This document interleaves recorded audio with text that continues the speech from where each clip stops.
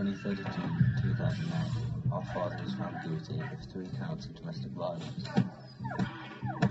Give was this day daily bread. He was a drunk, he was brutal, and now he's back to finish what he started.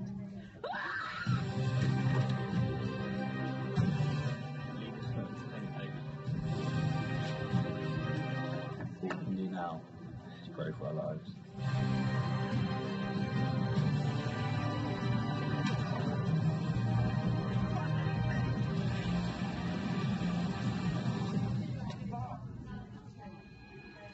Thank